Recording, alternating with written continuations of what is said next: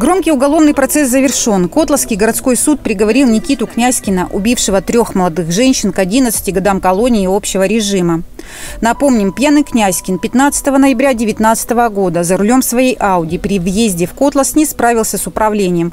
Вылетел на встречку и врезался в автомобиль Volkswagen. Стрелка спидометра его иномарки застыла на отметке 170 км в час. Он не оставил ни одного шанса выжить Татьяне Шохиной и ее подругам Юлии Бурлаковой и Анастасии Юрочевой. И вот, казалось бы, все подошло к логичному завершению. Фемида в этой истории раскрыла глаза. Приговор Котловского суда устоялся и в областном, где апелляцию Князькина оставили без удовлетворения. Но это, увы, пока не все.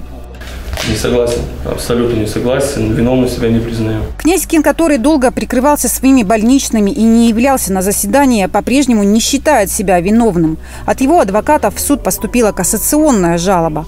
Родственники погибших снова в шоке. А вы когда узнали? Месяц назад где-то? 18 ноября, в день рождения сына. То есть, э, как бы мы сидели за столом, и мне вот позвонил товарищ и сказал, что Сергей, да, что мне пришло письмо, надо забрать. Посмотри, что там. Ну вот, и как бы забрал, посмотрел, ознакомился. Но ничего на самом деле не увидел. То есть, что было в апелляционном, там пару строк, конечно, не дописали там своих этих возмущений.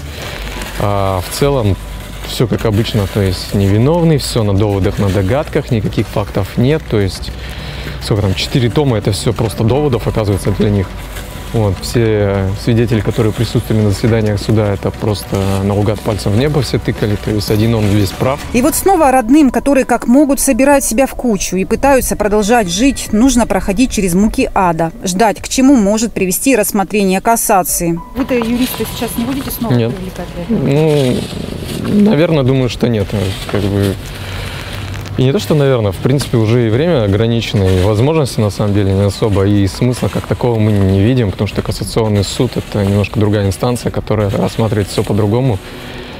И говорю, там бывает двояко, то есть могут или-или, а там уже, ну как судьба сыграет, скажем так.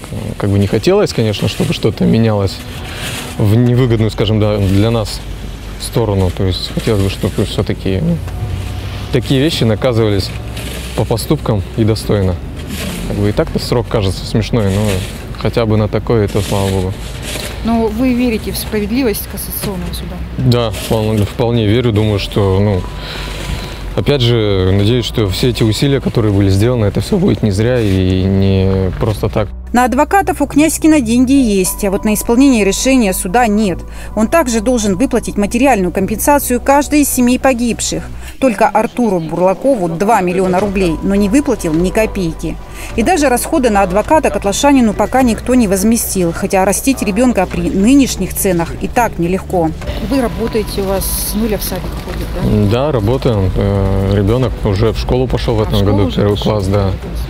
Вот, как бы, ну, как-то вот так. Жизнь все равно продолжается. Ну, тяжеловато, конечно, бывает периодически, потому что одному не разорваться. Вот.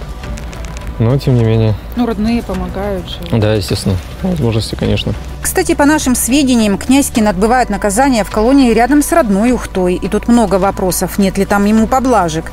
Мнение родных погибших девушек не изменилось. Князькин заслуживает максимально сурового наказания и никакого пересмотра дела.